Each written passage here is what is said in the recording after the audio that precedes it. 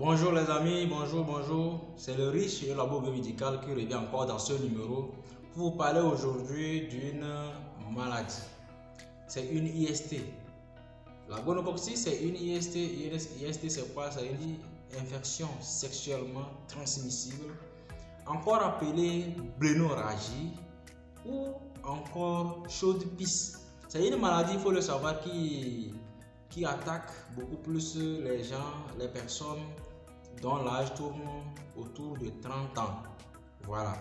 Et le plus souvent, c'est les hommes qui sont plus, euh, qui sont plus infectés. Pourquoi j'ai dit c'est les hommes qui sont plus infectés? Tout le monde est infecté, l'homme comme la femme, mais c'est chez l'homme qu'on a plus les symptômes de, de cette maladie-là. Donc c'est pour cela c'est les hommes qui, se, qui, qui viennent à l'hôpital le plus souvent avec des symptômes donc, de la gonococcie. Voilà. Quels sont donc, euh, comme j'ai parlé des symptômes, quels sont donc les symptômes donc, euh, de cette maladie? Comme je l'ai dit, c'est les hommes qui, qui, sont, qui sont plus symptomatiques. Euh, c'est-à-dire c'est les hommes qui c'est chez les hommes qu'on a les symptômes de cette, de cette infection. Et donc souvent le plus souvent quels sont, quels sont les symptômes qu'on remarque?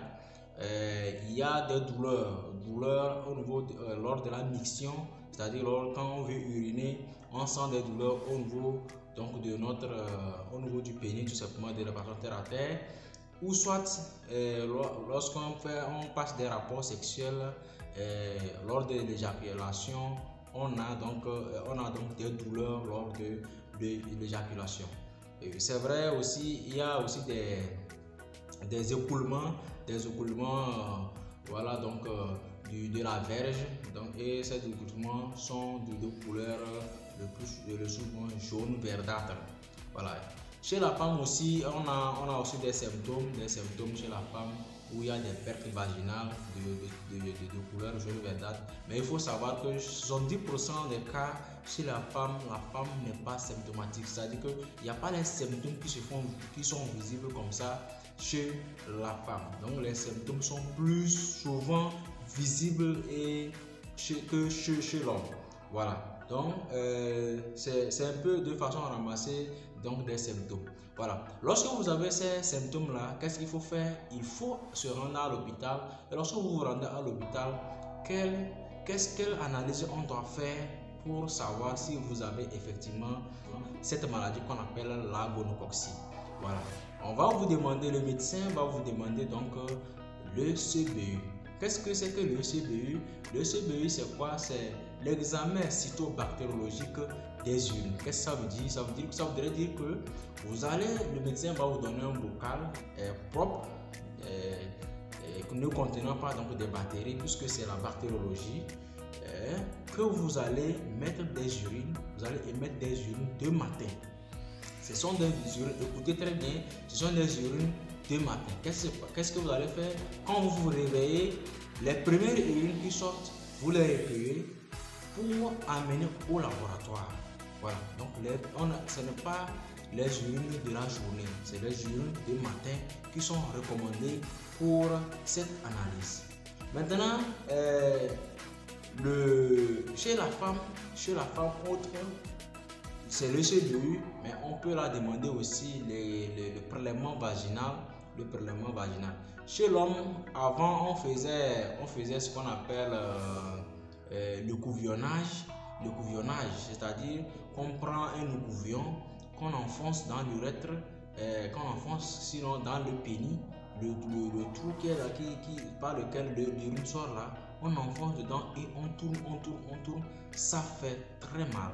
Donc, euh, de façon scientifique et de façon que là, les, chercheurs et euh, les, biologistes sont dit non, euh, ça serait mieux d'arrêter ce système-là parce que on torture beaucoup, beaucoup les, patients. Et donc, avec le CBU, on peut avoir donc des résultats. Voilà. Lorsque vous faites l'examen histobactériologique des urines, on va donc trouver donc des des diplocoques, donc c'est-à-dire on va trouver des bactéries responsables donc de la gonococcie. Je, bon, je vais vous donner le nom, hein. ça dit c'est des diplocoques qu'on va retrouver. Le nom scientifique c'est le Neisseria gonorrhée. Donc c'est ce germe-là qu'on va aller isoler et maintenant euh, voir donc lors de la culture. Hein, là on va faire la culture au laboratoire et va isoler ce germe-là et maintenant on va vous traiter. Voilà. Comment se fait donc euh, le, traitement? Le traitement, euh, il se fait donc par l'association donc des, des médicaments en fonction donc selon les, cas, hein, selon les cas et selon donc votre poids et autres là et donc les doses ça diffère.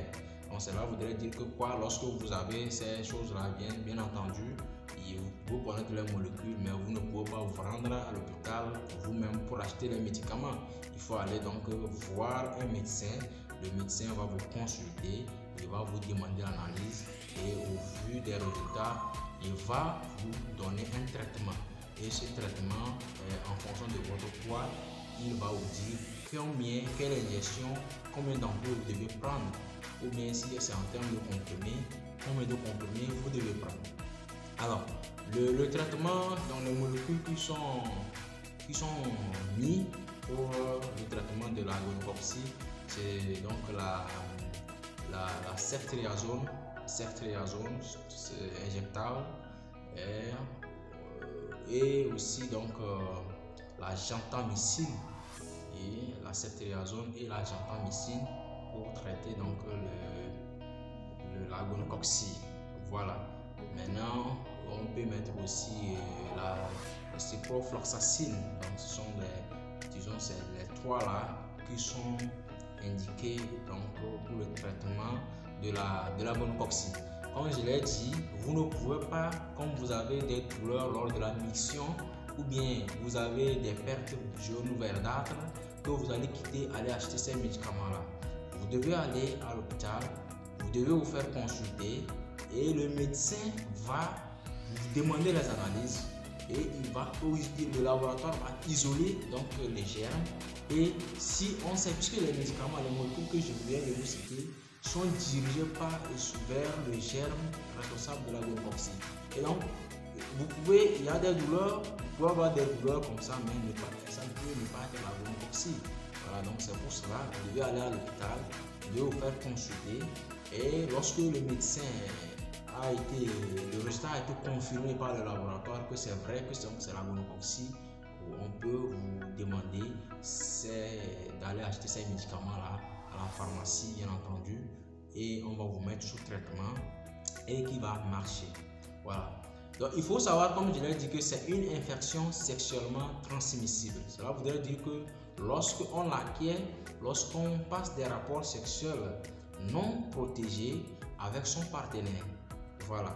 La, durée d'incubation, lorsque vous, couchez avec quelqu'un qui a la gonococcie, la durée d'incubation. Qu'est-ce que j'appelle par durée d'incubation? Le temps que la bactérie va mettre à comme pour commencer par manifester, pour commencer par se faire voir visiblement qu'il y a quelque chose, c'est de 2 à 7 jours.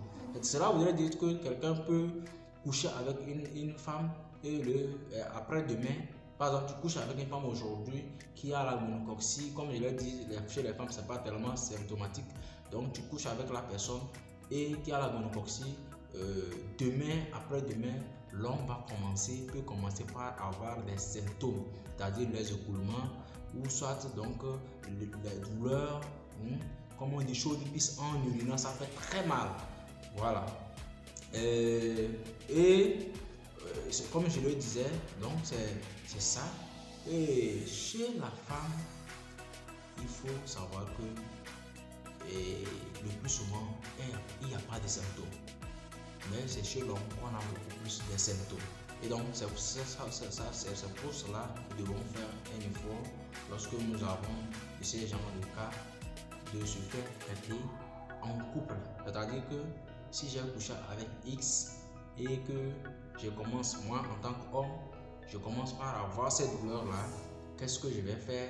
C'est d'aller donc euh, prendre ma partenaire et nous allons voir notre médecin pour que le médecin puisse me traiter en passant par le laboratoire bien entendu, en faisant donc de la biologie, en faisant les analyses indiquées et pour confirmer donc euh, ce que le médecin pense et on va vous mettre sous traitement.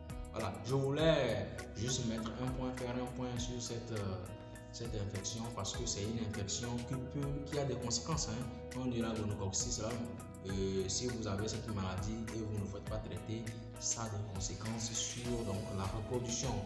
D'autant plus que c'est l'appareil reproducteur qui est, est, visé. Donc ça peut avoir des conséquences sur donc, cet appareil-là. Quand je parle de conséquences, il y a beaucoup de conséquences. Donc il faut faire un effort lorsque vous avez ces, ces symptômes, se rendre à l'hôpital, se faire analyser et de se faire traiter. C'est un traitement qui est facile, hein, comme vous l'avez voyez, et qui est, qui est très efficace. Donc lorsque vous l'avez en moins d'une semaine, même sinon en une semaine, vous n'êtes plus infectieux. C'est-à-dire quand vous faites traiter en une semaine, vous n'êtes plus infectieux. Et donc, euh, je pense que c'est bien. Voilà. Pour éviter donc, pour éviter donc, je, profite de vous donner donc des, conseils pour éviter donc cette, euh, cette infection. Sinon, globalement, les infections sexuellement transmissibles, pour éviter les infections sexuellement transmissibles, il faut se protéger lors des rapports sexuels. Donc, c'est-à-dire, il faut utiliser les préservatifs. Voilà. Si vous ne voulez pas utiliser les préservatifs, il faut avoir un seul partenaire et s'assurer que la personne n'a pas de, maladie. Maintenant, pour s'assurer, qu'est-ce que vous faites? Est-ce que vous allez faire des, des analyses? Non, non. Je pense que euh, si c'est votre femme, d'accord. Mais si c'est votre copine, il faut utiliser donc les préservatifs. Maintenant, sinon, il faut faire recours à l'abstinence sexuelle. L'abstinence sexuelle seulement peut vous garantir à 100% de ne pas avoir cette maladie. Sinon, si c'est en couple, on peut avoir la maladie et on va se faire traiter. Si c'est entre copains, copines ou bien amants, amants, tout ça, là, vous n'êtes pas encore marié, euh, je vous suggère des préservatifs. Alors, euh, je vous souhaite donc une très bonne journée. On est ensemble. Nous osons que nos vidéos vous plaisent et nous attendons aussi des retours nous, attendons des retours pour essayer de parfaire ce que nous faisons. Nous, comptons sur vous aussi pour vous abonner énormément à la chaîne, à partager et à liker euh, nos vidéos. Pour ça soutient aussi.